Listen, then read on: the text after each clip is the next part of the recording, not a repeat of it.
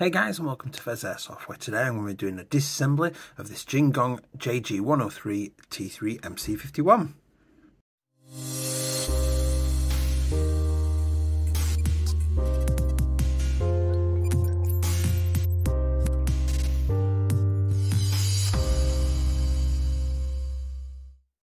Hey guys and welcome back. If you do enjoy this video today, please do consider liking, commenting and subscribing because those interactions are going to help the channel get seen and grow. Uh, use the link tree link down below to visit all of my socials, including my merch store, which has now launched um, sales anywhere in the UK, uh, uh, anywhere in the world. Uh, and if you want to like to support the channel a little bit more, channel memberships are now open, 99 pence a month using the join button down below. Uh, it is only 99 pence a month. You get custom videos and your own chat area. Totally optional. Massively appreciated if you did do that though.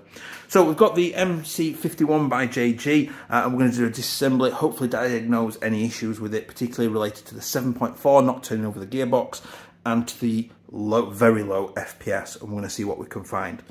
So let's get started then. I'm going to push this body pin out.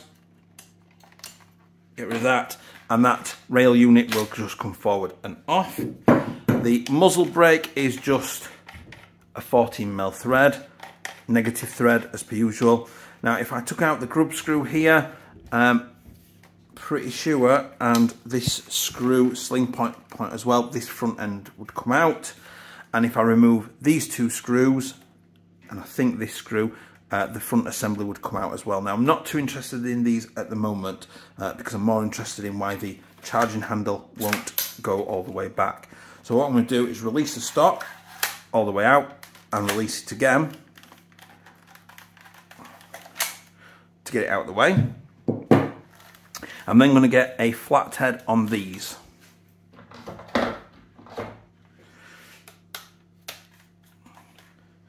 Now I've got my finger on the underside of this screw because it will just literally just drop out the other side without any sort of uh, friction there goes the thing. Now, these screws in here are very similar to this screw here, but a different size. So make sure you keep the stock screws together and separate from the um, mag release screw because they are different.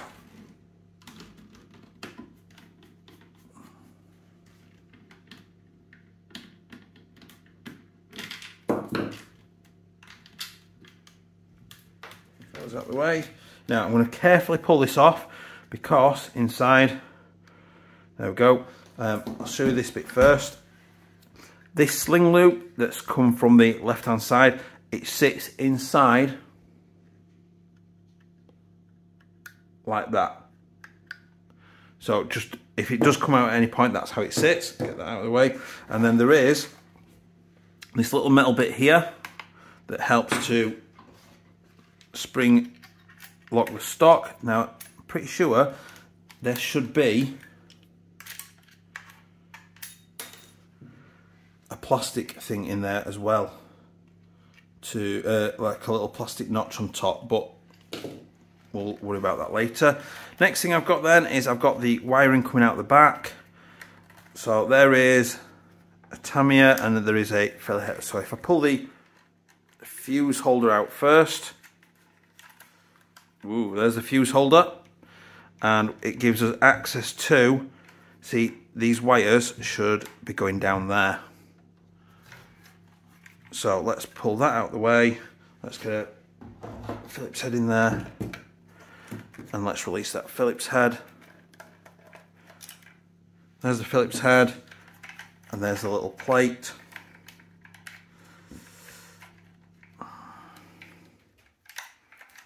Have they even got that back in Let's see if I can release that from there. There we go. So just, that is literally a mini Tamiya onto a mini Tamiya. So I've just released those apart and that'll let me get that plate out the back. Now I'm going to remove this front body pin here. Get those out of the way.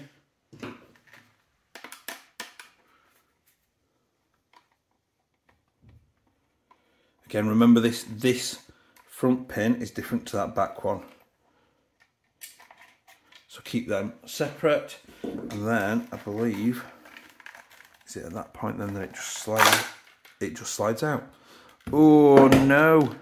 So that would possibly explain why the 7.4 is wasn't isn't turning this over because it's nice and crunchy because it wasn't in the right place basically it had been run down the wrong way and I can see there that it's gone the wrong way down there as well so that would also explain as to why that power cable was so short and shouldn't have been because that should be much further forward. And they should there's a pair of wires sat down there. Ow damn it. Stab myself on the little wire sticking up. Um, they should have sat down that track there basically out of the way of everything and anything. Uh, and that definitely should have been much longer like that. Because that is about where the connector should have been coming out the back. So we'll just slide the barrel and hop out and have a look. So the barrel the hop is roll up to apply hop. It is spotlessly clean. That is the hop fully on and it was hopping two fives with absolute ease with that not an awful lot of hop applied. So I would assume with that amount of hop you can hop much uh, heavier BBs. Um, so next is our gearbox then. I am wondering if the misalignment was was off. That is does feel like a soft, relatively soft spring in there though. Um, so I've got the gearbox assembly. Um, first thing I'm going to do is I'm going to remove this little plate here, which is the selector system. So I've got a tiny little Phillips head, which is too tiny. Right, let's try that one. Now be careful with this that you don't go it too much. You need to not round this screw out. Okay, so it was rounding and I've managed to fortunately get a little flat head that basically managed to just get enough purchase to remove it.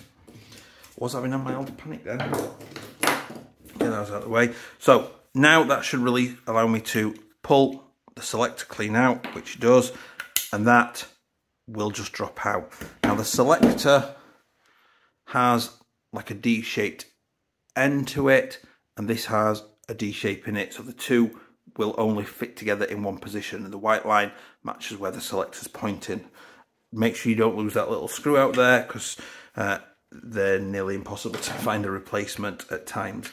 So I'm just going to unscrew the base of the pistol grip there, I'm just going to hold it down as well.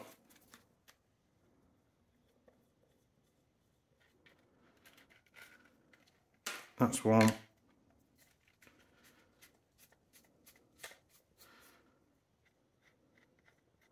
It's definitely been opened because the gunfire quality control sticker is actually stuck inside the gearbox casing.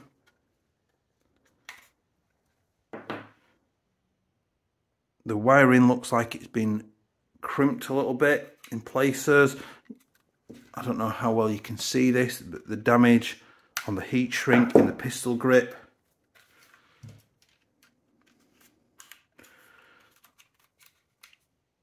I don't know if you can see that, that damage on them. That motor was semi-wedged in there. Now that's unusual. Those are hex head bolts in there. That's a bit different.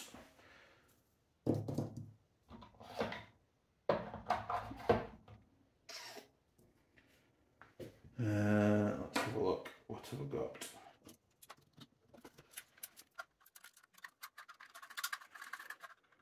Alright, so I've used a Torx on it. I've used specifically a Torx 8 to remove that pistol grip screw.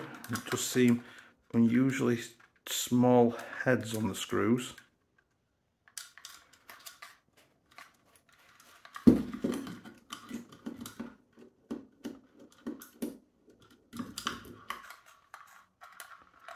There's the other screw. Right, and then the pistol grip should just wiggle free and loose. Now that came off a little bit harder than I wanted. Luckily enough it didn't damage any more damage than what was already done on those. And then the gearbox will drop out. Now I'm going to be careful to catch this as it comes out. In fact, I'm going to flip it over that way because there it is. So when we put this back in, it just goes, show you the orientation of it. So it goes in like that basically, and that'll connect with your selector is squared off at the bottom of this post and that sits in there happily. I'm going to put those out of the way.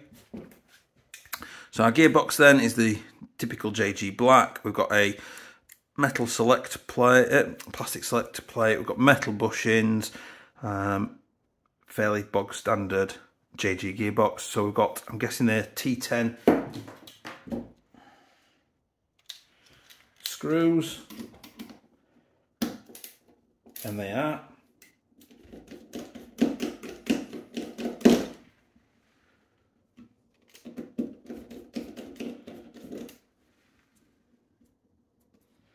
Make sure you line up all the screws properly so you know where everything's come from.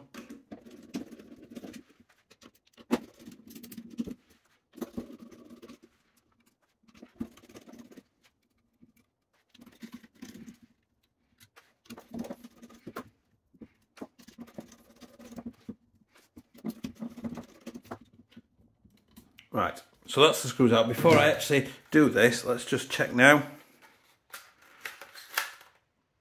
Just fully open and expose what will be the hop unit, but we'll look at that later. So, because I can't, it's not a quick change spring, I'm just gonna have to shove a screwdriver in the back and hold that down while I release that. And let that go. So that is a fairly beefy spring which has been clipped. That is a clip mark there. That spring has been clipped down. I assume that's a standard length that they work to and looks like it's been clipped at that end as well and stuck over the spring guide as well. Wow. Uh, so we've got our two-part metal spring guide. We've got, wow, that is a shim that's out of place that is chewed up and damaged. Quite a thick shim as well.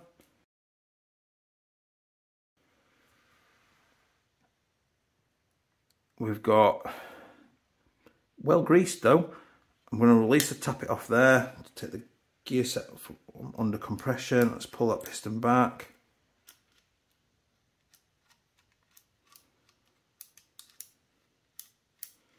Right, let's lift this up.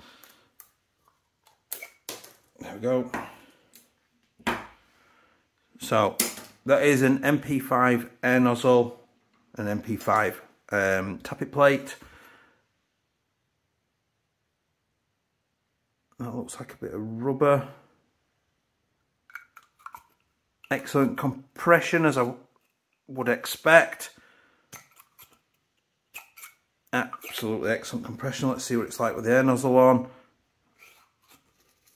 Again, excellent. Obviously I can push air out, but that's because it's not an O-ring, it's not a sealing type, so it will allow some air out. I'm happy with that. The gears, there is some effort to shim. Obviously, there is a shim being allowed to wander loose, um, but the gears look in good condition. There's no evidence that would suggest that they are sort of grinding on each other from bad shimming or anything.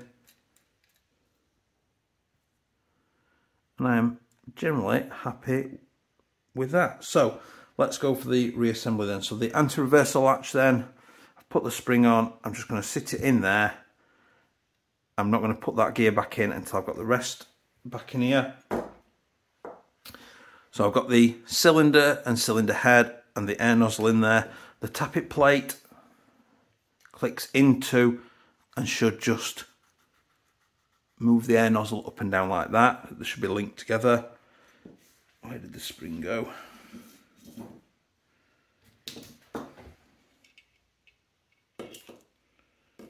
There we go, look. So the tappet plate spring I'm going to hook on and if I flip it over I've got it to the lower point, so it's going to go on this peg here. I'm going to spin that gear backwards. Oops.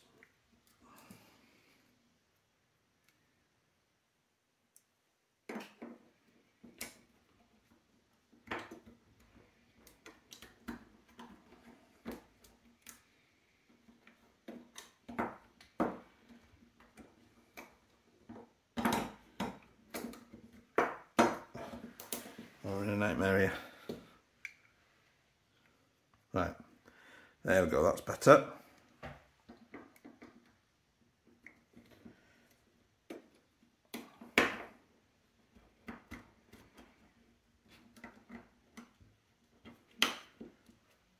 There we go. So what I had to make sure of, this why will keep jumping out, this was an issue I think before. So this little spring goes all the way down on this peg, making sure that the cylinder head, the lug hole on the bottom is in position and the piston is on its runners there. Happy with that. Next thing to do is I am going to make sure that the trigger is sat properly, which is. I'm going to pull the anti-reversal latch down.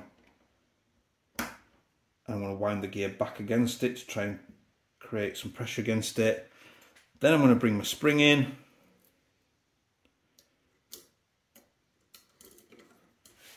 Which has got barely any compression there went the, I don't know if you noticed it then, but the anti-reversal latch sprung. Um, no, it's okay. That's quite a short, tiny little spring. So I pulled it back, I'm just compressing it downwards with my thumb. Oh, shim dropped off there, off the bottom. To make sure that's not uh, free roaming in the gearbox.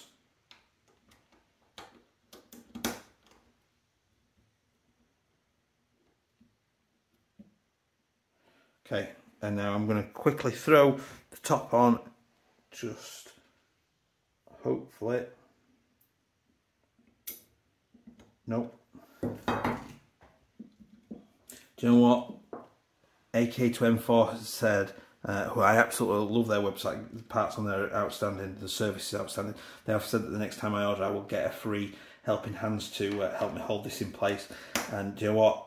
I need to just get an order done. The uh, grease inside is, is quite good as well. It's not uh, overly greased in, in any way.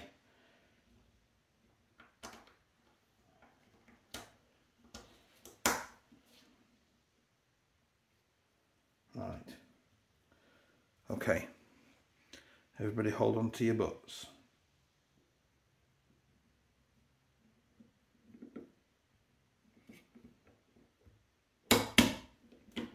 Oh, did I catch it? Did I catch it?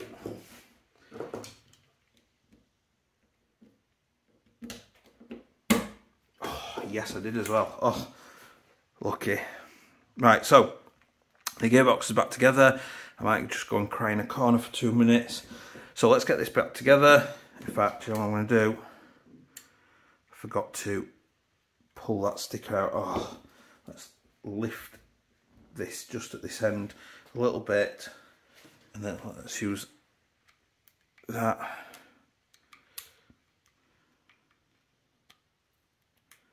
to pull that out there we go right now let's get these screws back in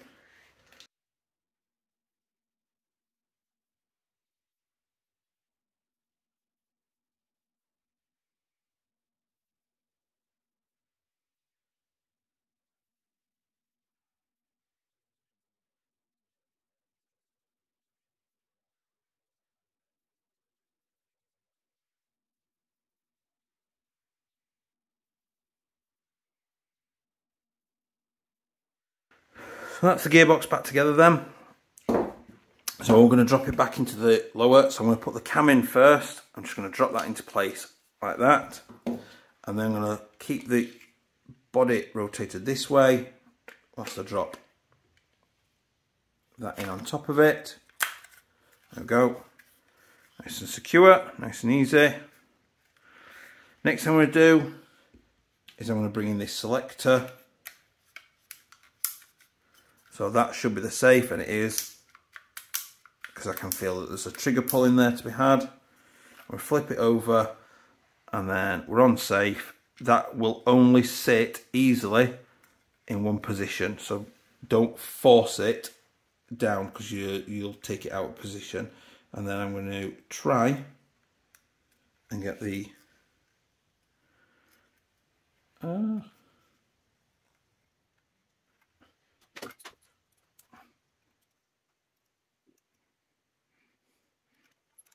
Now what I'm not going to do is because it is already damaged, I'm not going to over tighten it, I'm just going to loosen it in. What I will do is, once I've sort of got all this running as it is, I'll possibly just thread lock that into there because um, I don't want it coming out anytime soon. I might even sort of pre-source myself a replacement as well. So the next thing I'm going to do is I'm going to put the pistol grip back on. So I'm just going to drop, the wires literally just go in red at the front, black at the back. Drop those in.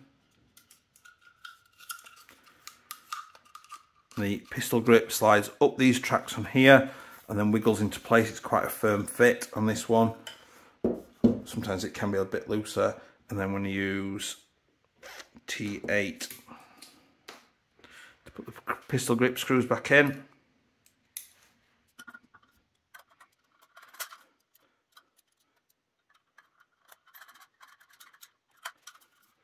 one in. There's only two places, there's only like literally two holes to secure this down so you, you literally can't go wrong putting these these screws in place.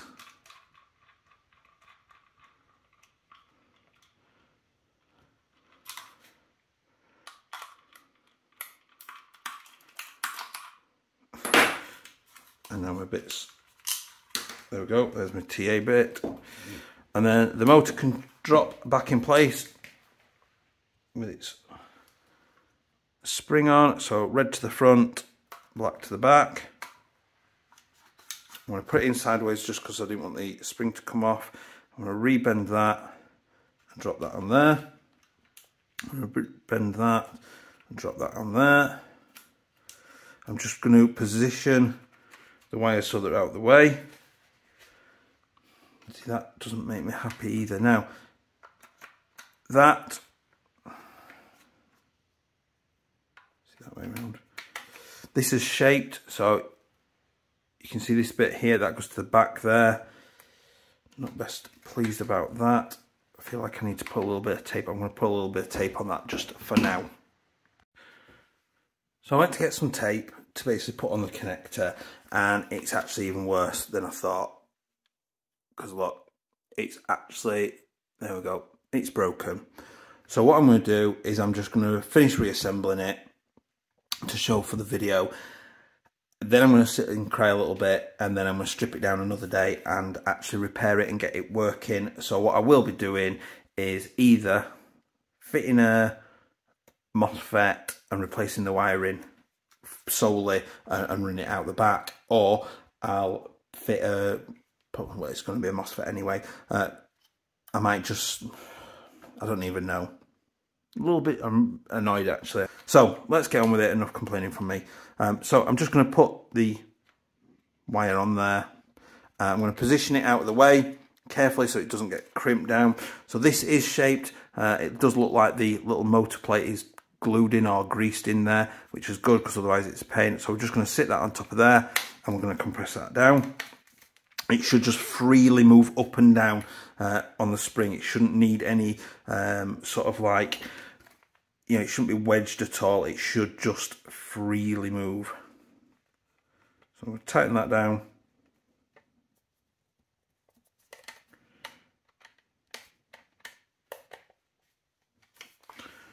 Tighten that one down.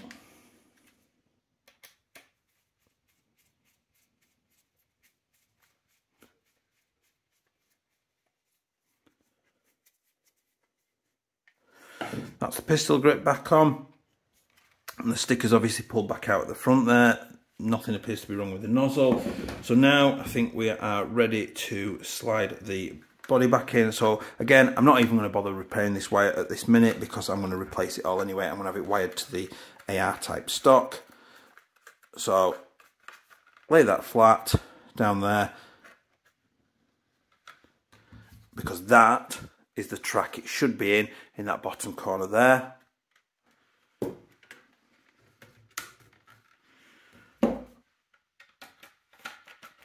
And then I'm just going to very carefully position that in. Ow. And then, oh, missed a bit at the back there.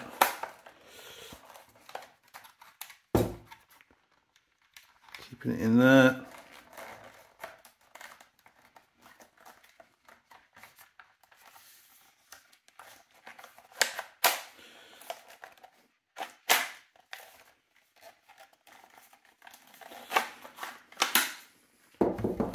and the hop unit doesn't seem to want to go all the way forward.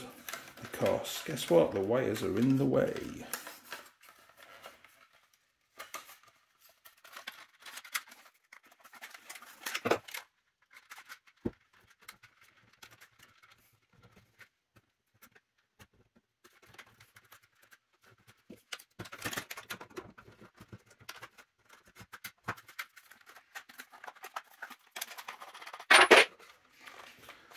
So I wondered what was wrong. It's uh, the barrel's basically just stuck at the end there a little bit. So I thought it was the wires, but it's actually just caught on the end bit there, just stopping it going all the way forward. So it did come forward. All I needed to do was there's like a little rubber bung in the end. I've just take that out, and just use a screwdriver to centralise it. Then I can put that back in and put the flash hider back on, muzzle brake. Uh, so the wires then go back in their little track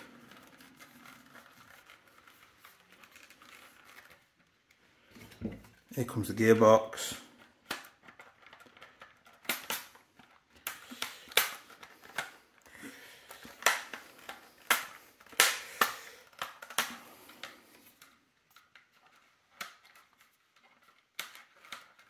It is fiddly to do this. Get these in the right place. I'm just going to slightly go off camera touch just to position that in the right place. There we go. Still there. It slid nicely into position. The wires are coming out of the correct place there. There is just enough that that wire will loop back around onto that once I've put the um, plate back in and then this can be tucked into there.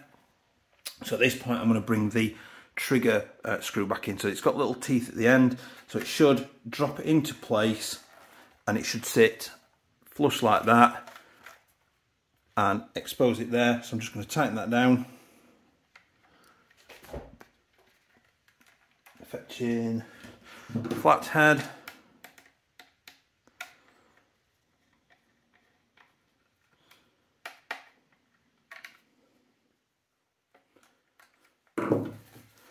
That's that bit done.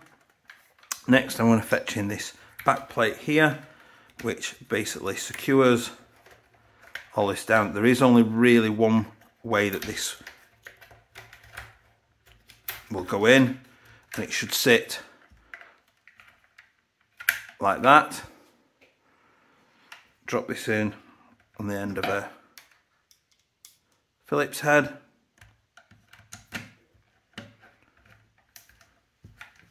Tighten that in. Next I'm going to put the Tamiya on.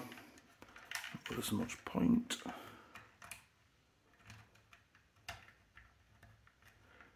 That's connected in. That then feeds up and into there. These wires fold over and then they're all nice and neat and out of the way and this framing keeps them from getting compressed and nicked. So I'm then going to bring in the little uh, thing that we had I'm then going to slide on the stock cap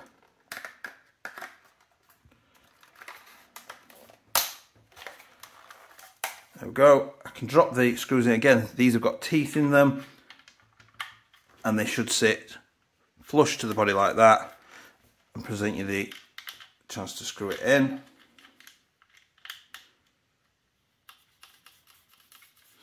Just going to finger tighten this one out.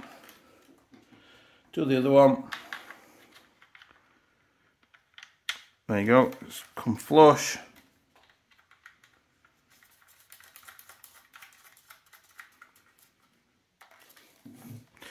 Stock back in, runs into its runners.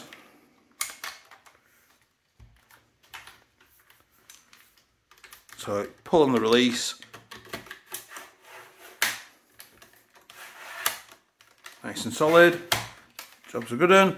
And then we can bring in, look, the correct length there for the Tamiya.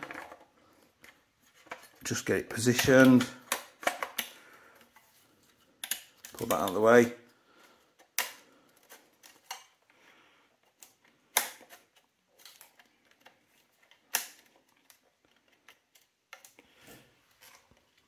loosely put the body pin in just for now because I'm going to be stripping it down again probably tomorrow. Gone in and then all it's missing because it's rolled away on the floor is the muzzle brake.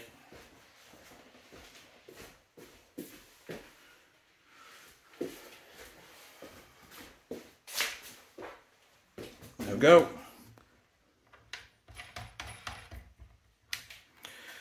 And there we go is fully reassembled with the wiring back where it should be, minus the free floating um, uh, shim, just as a side to show you how to fit one of these. So using the little Allen key, the hex heads, you just need to loosen these off.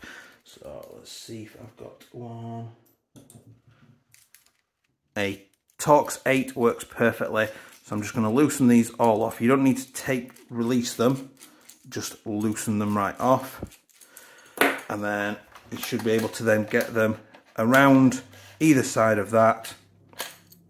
And then basically what they're going to do is sit underneath these lug points here and then it might be that you do have to take at least one side off um, to, in fact is it a T8, is that even?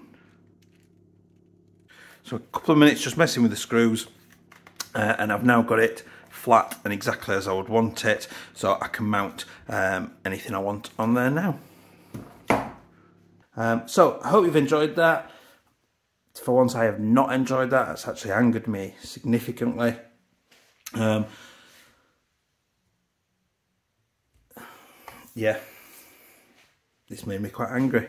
So, um, Please do remember to like, comment and subscribe. I hope you found that useful. I hope you've seen it where the weaknesses are and sit uh, and you know, know how to avoid them, diagnose them and identify them. And uh, please make sure you use the Linktree link down below to visit all my socials and my merch store. Uh, and I will see you next time. Bye.